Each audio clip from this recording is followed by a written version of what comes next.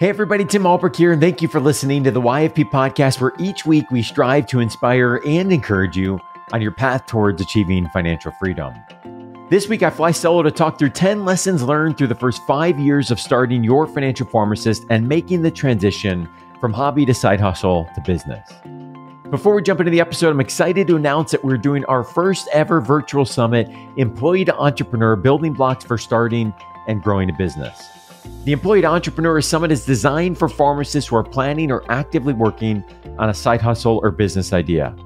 The summit will be hosted live via Zoom the evenings of Tuesday, August 30th and Wednesday, August 31st. Topics and activities will include how to hone your mindset and uncap your potential as a business owner, how to grow a business from a position of financial strength, retirement savings and tax optimization strategies as a small business owner, how to develop a system for achieving business financial goals, and we'll also be featuring several examples of pharmacists that have made the transition to entrepreneur and are monetizing their clinical expertise.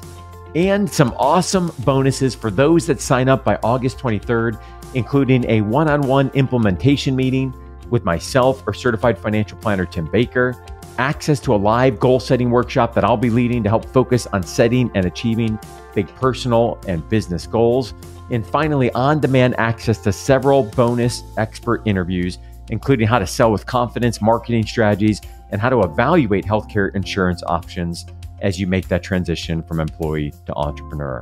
You can learn more and register at yourfinancialpharmacist.com forward slash business summit. Again, yourfinancialpharmacist.com forward slash business summit.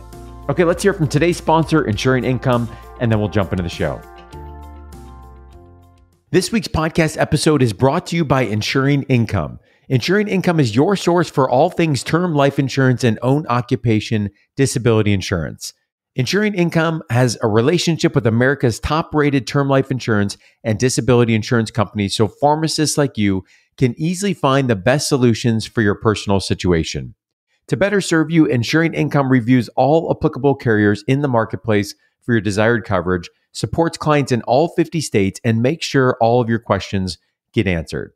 To get quotes and apply for term life or disability insurance, see sample contracts from disability carriers, or learn more about these topics, visit insuringincome.com forward slash your financial pharmacist. Again, that's insuringincome.com forward slash your financial pharmacist. On November 6, 2015, I wrote the first blog post under the name Your Financial Pharmacist. That post was a chronicle of the journey that my wife Jess and I took into and out of $200,000 of debt. Furthermore, it was an acknowledgement that there was a need to develop a community of pharmacists that could encourage and inspire one another on their path towards achieving financial freedom. Fast forward to 2022, the YFP community is now 13,000 plus strong, but it started with a list of less than 100 individuals that I twisted their arms to say yes to receiving my first blog post. Those blog posts led to some speaking engagements and more pharmacists coming forward to share their own stories. After that, I was invited to do some speaking engagements, which would eventually lead to a relationship with the National Pharmacy Association that helped increase the awareness of the mission of the work that we were doing at YFP. Shortly thereafter, I would co author the book Seven Figure Pharmacist with Tim Church. And not too long after that, I would connect with my business partner of now five plus years, Tim Baker. And funny enough, we recently discovered that Tim began his work to start a fee only financial planning firm for pharmacists within the same week that I wrote that first blog post in November of 2015. Tim Baker, after we met, we would decide to launch the YFP podcast in July of 2017 which was the beginning of a friendship and a partnership that was essential to grow the business to where we are today. When I reflect on the past five years and the ups and downs of going from hobby to side hustle to business to making that transition from employee to entrepreneur, here are the top 10 lessons that I have learned along this journey. Number one, start. In July of 2015, I was traveling to the AACP annual meeting in National Harbor, Maryland. The book I selected for the trip to read on the plane was Start by Jon Acuff.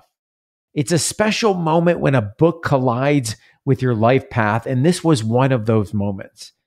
You see, at the time, I had been thinking about the idea of YFP, but was struggling with what to do with the idea.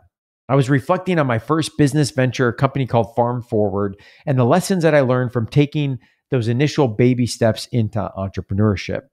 It was the words Jon Acuff penned in Start that would push me over the edge to formalize the initial idea of YFP to get the name established, to set up the legal entity to build the first prototype of the website. It was rough. And to ask 100 friends and colleagues to join the start of my email list and ultimately publish that first blog post. I needed the words of encouragement from Jon Acuff to just start. I knew I had to heed this advice because the idea of YFP would not leave me alone. I couldn't stop thinking about building a platform for pharmacists to learn more about personal finance, to bring a community together. I knew it was needed and I knew it could have an impact, but fear still crept in with questions like what if it doesn't work out? What if nobody likes the blog post? What if this is a good idea only in my head? And who am I to write on this topic, not being a financial planner myself? And speaking with many entrepreneurs over the last five years on the YFP podcast, this theme of just start keeps coming up again and again. Those who have built something that is solving a problem and serving others all had to work through their own fears, anxiety, and unknown to take the first step. You see, many great ideas never see the light of day. Too often, individuals get paralyzed in the analytical phase where passion gets muted by excuses, questions and doubts. And sometimes you just have to jump in the deep end and figure it out. The idea of just start has stayed with me through the entire journey so far of YFP. It doesn't just apply to getting a business off the ground. As I reflect back over the past five years, we've evolved from three companies to one company. We've changed our logos and branding. We've redesigned our website multiple times. We've reformatted the podcast. We've identified better tools and solutions inside of the business, and we've taken the leap to grow our team. None of these were smooth sailing. And the only way we were able to identify and grow is because we ended up in the first place of just starting. There had to be a beginning. So that's number one is start. Number two is a strong why. A strong why. In his book, Start with Why, Simon Sinek talks and says that every one of us has a why, a deep seated purpose, cause, or belief that is the source of our passion and inspiration. And making the shift from employee to entrepreneur will inevitably include bumps along the way. Challenging days and seasons are to be expected, but getting stuck and being a prisoner to your motivation is not an option. Motivation alone may not provide enough fuel during the challenging seasons. Therefore, it's critical that the why of our business and its offerings transcend the level of motivation that we have on any given day. We need a strong enough why that drives us to commit the time and effort that the business needs. One of my favorite podcasts over the past several years is How I Built This with Guy Raz. And on this show, Guy takes the listener behind the scenes with a founder to hear about the movements that they have built. Many of these stories have trials and tribulations, and it was in those moments, in those trials and tribulations, that the passion behind the idea and the problem the product or service was solving would help propel the founder through that difficult time. YFP, our mission is help pharmacists achieve financial freedom. Why? Because having a financially well pharmacist workforce is in the best interest of the profession and ultimately the patients that we serve. Furthermore, the profession of pharmacy needs big ideas. We need disruptive ideas, ideas that are going to improve the health and well being of our nation. But the problem is, big ideas, disruptive ideas, these rarely come from someone that is living in a state of financial stress. If someone's overwhelmed with student loan debt, if someone's confused about how to best save and invest for the future, if someone's frustrated by the fact that they're making a good income but not progressing financially, or if they're anxious that they feel like they're financially behind, any one of these is a killer of a dream, a killer of a big idea.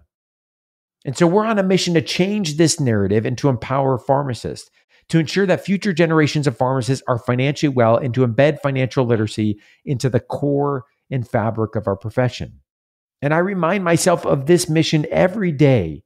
And this propels me through the highs and through the lows. Our mission is greater than any one challenging season of the business. Number three is mindset. Mindset. Since leaving my work in academia, most recently in a position at Ohio State, to work full time on the business, I did not anticipate the growth that would happen and that was needed related to my mindset. Thanks in large part to an incredible coach and mentor, Chris Caldwell, I would begin a journey that dug into some serious self reflection that was stimulated by some really deep questions. Questions like, why is achievement so important to me and my identity? Why have I struggled to just be present without work or accomplishment? How could my life look if I embrace the purpose of just being the best version of myself? What do I actually want? What are the stories that are telling myself? In what ways am I showing up as an inauthentic version of myself? In what artificial ceilings have I created in my personal and professional life? And why have I created these ceilings? Over the past year, I've come to appreciate that I'm just beginning a lifelong journey of digging deeper. This journey of leaning into some hard questions with the goal of living to my fullest potential and being the best authentic version of myself that I can be has been one of the greatest gifts of entrepreneurship that I did not see coming. Number four is the value of partnership. The value of partnership. In the summer of 2015, after meeting on Twitter, yes, that is a real thing, I had the chance to connect with Tim Baker in person. We met at a Bob Evans, of all places, off I 71, about halfway between Cleveland and Columbus. As Tim Baker likes to tell the story, he found me on Twitter as wondering who was this other Tim that was talking about personal finance and pharmacy. At the time, Tim Baker was living in Baltimore and was visiting his sister in Columbus, which provided the opportunity for us to connect in person.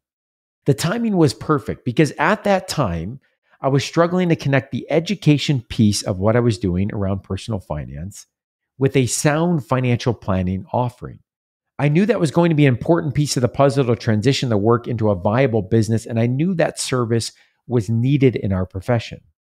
I was in the process of talking with several planners in Northeast Ohio, trying to understand the lay of the land and how the industry works. You see, at this time, I was not aware of terms such as fee only and fiduciary, and I quickly realized the complexities of the industry after having several conversations with different planning firms.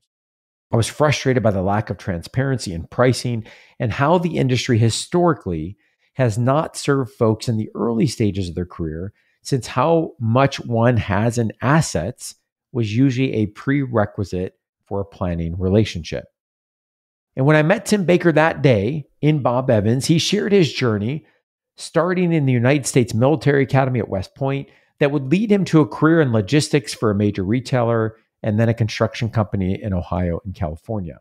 After realizing that he wanted something different, he made a pivot to a career in the financial services industry. And after working at a small independent financial planning firm, he decided to take the leap to start his own business offering fee only financial planning services focused on the pharmacy profession. At the time, the business was Script Financial. And through a friend at West Point who was married to a pharmacist, he identified that there was a gap in the industry in serving pharmacy professionals. Now, I was hooked when I learned about the meaning of fee only and the fiduciary standard, and that combined with the alignment on values and growing a small business led Tim and I to start collaborating on the Your Financial Pharmacist podcast. This collaboration furthered our friendship and respect for one another, which led us a step further towards eventually becoming business partners. Now, growing up in a family business, I observed firsthand the challenges that can come from partnerships, especially when it's family members that were involved as partners.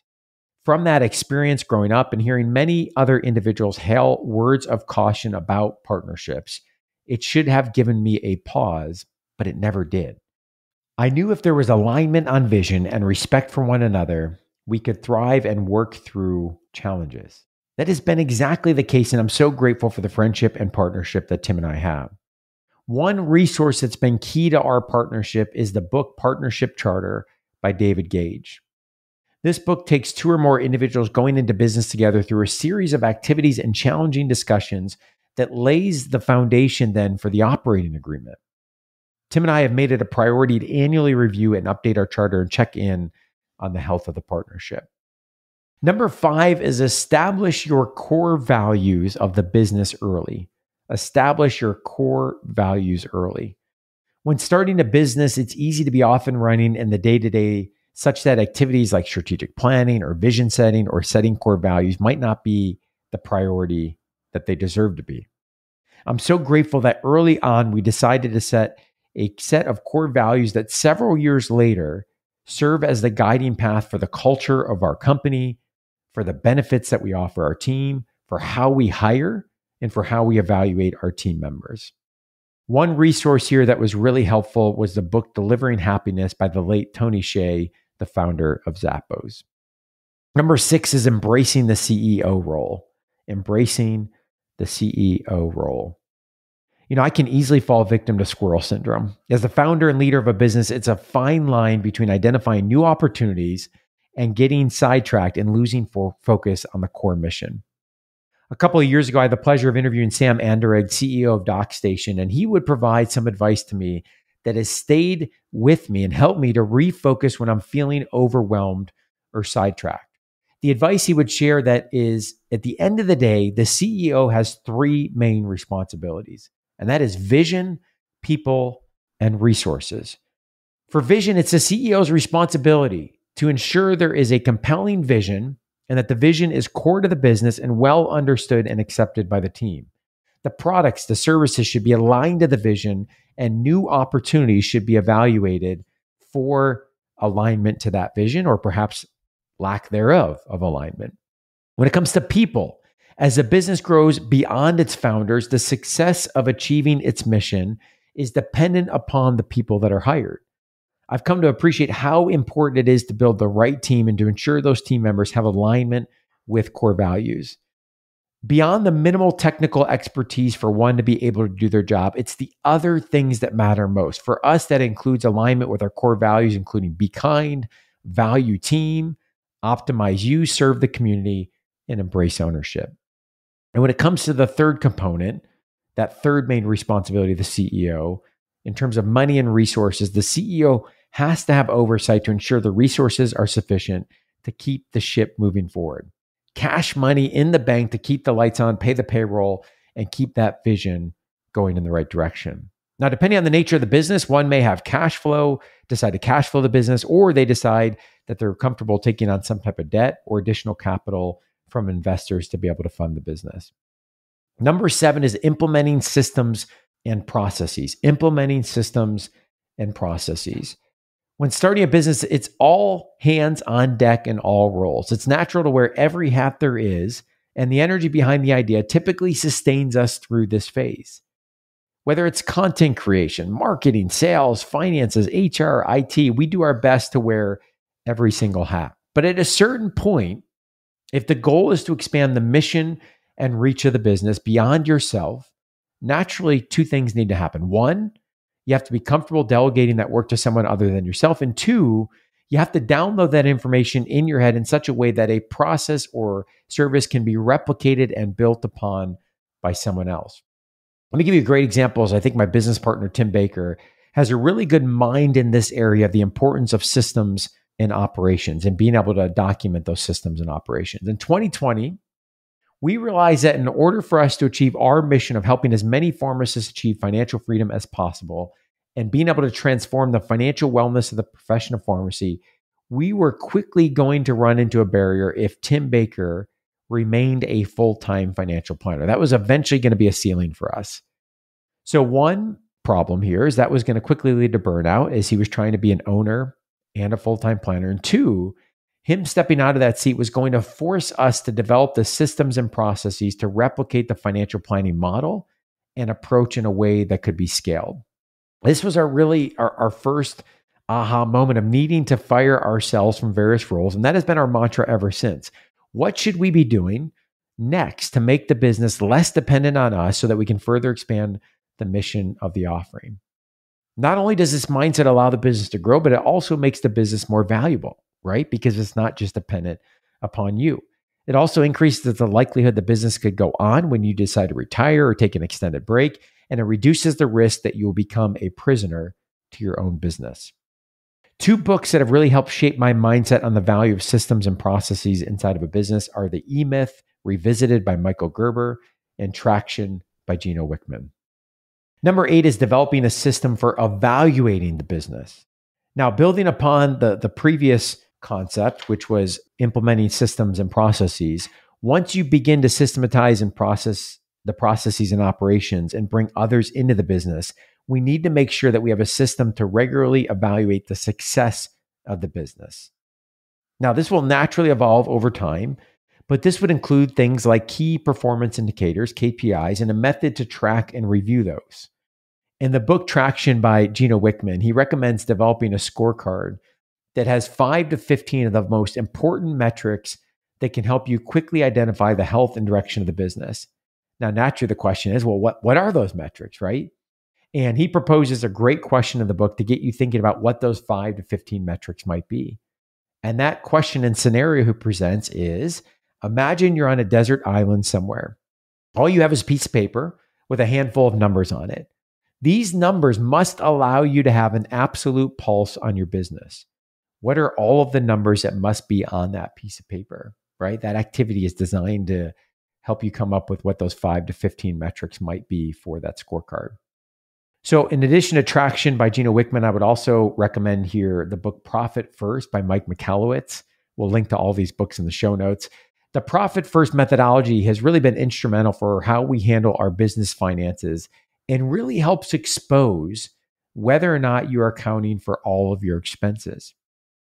It ensures that as a business owner, you're taking some amount of profit home each quarter, even if that's just 1%, that you're putting aside money for your taxes, and that you're paying yourself a sufficient wage for your time and efforts.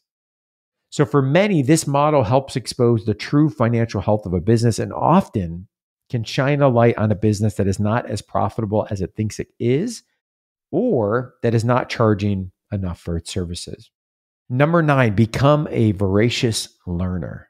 Become a voracious learner.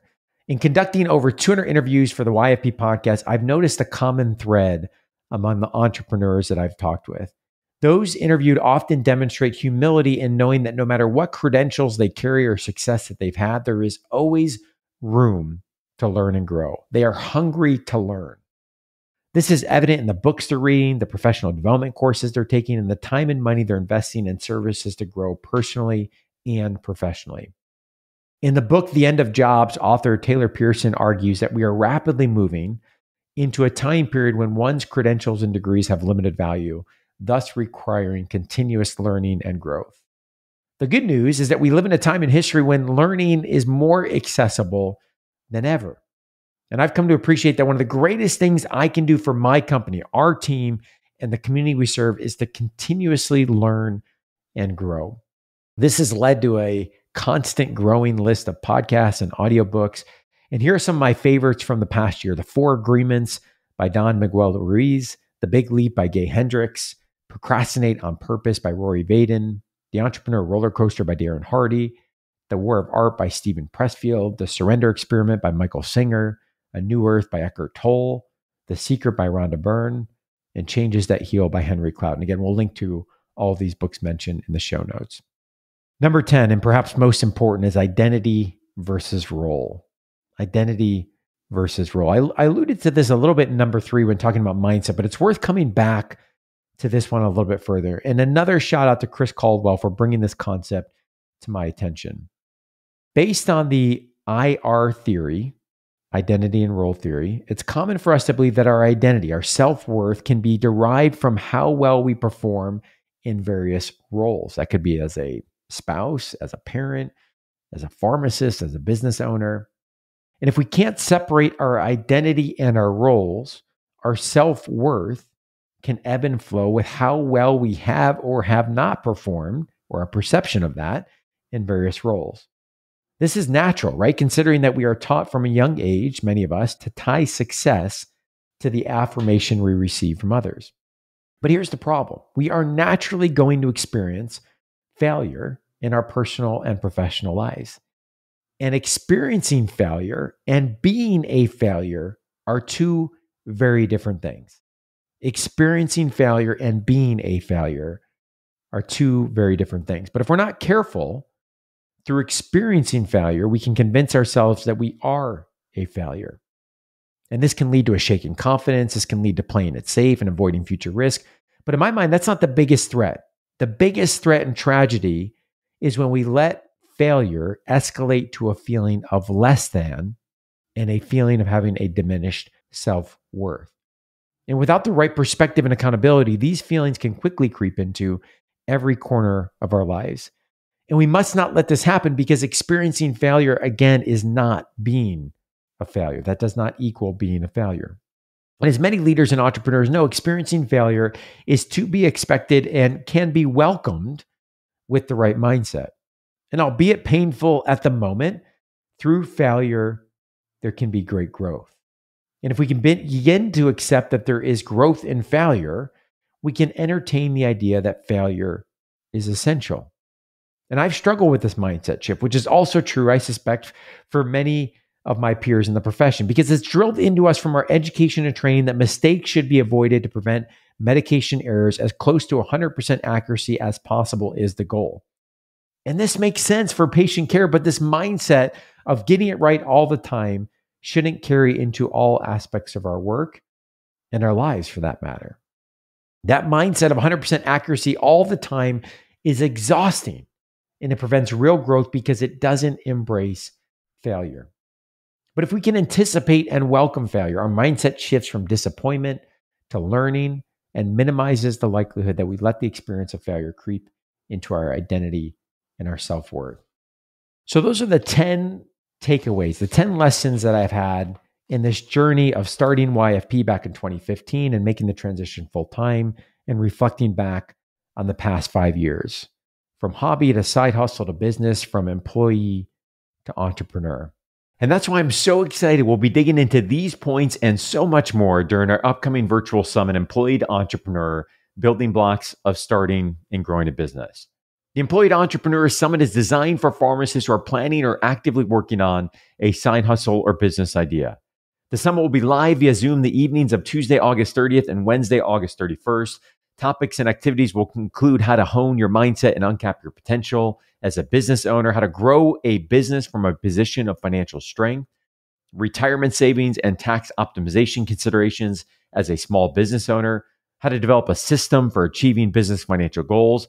And also, we'll be featuring several examples of pharmacists that are monetizing their clinical expertise and have made that transition from employee to entrepreneur.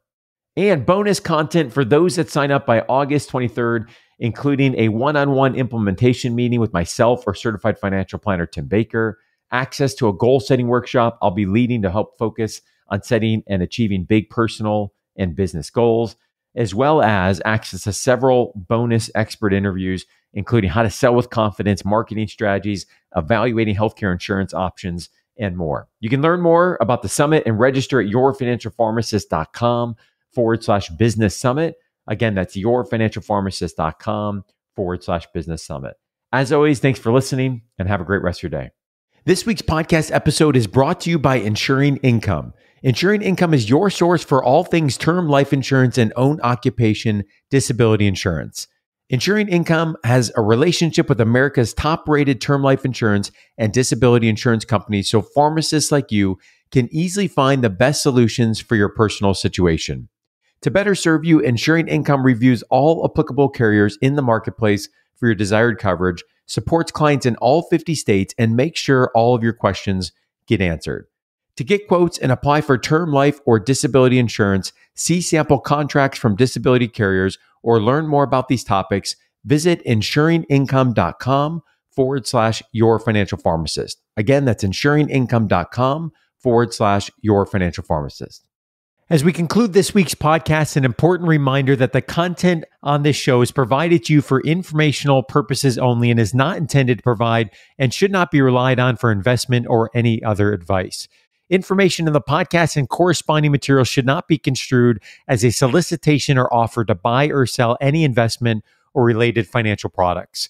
We urge listeners to consult with a financial advisor with respect to any investment. Furthermore, the information contained in our archived newsletters, blog posts, and podcasts is not updated and may not be accurate at the time you listen to it on the podcast. Opinions and analyses expressed herein are solely those of your financial pharmacist unless otherwise noted and constitute judgments as of the dates published. Such information may contain forward looking statements which are not intended to be guarantees of future events. Actual results could differ materially from those anticipated in the forward looking statements. For more information, please visit yourfinancialpharmacist.com forward slash disclaimer. Thank you again for your support of the Your Financial Pharmacist podcast. Have a great rest of your week.